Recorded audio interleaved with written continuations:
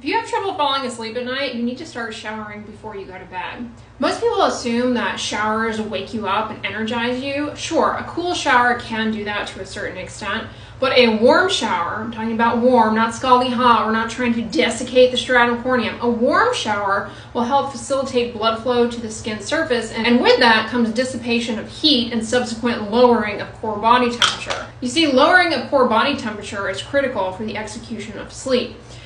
Also, keep your room cool. That likewise will help with slumber. And make sure you turn off your devices like an hour at least before you go to bed so that blue light from your phone is not like keeping your brain wired.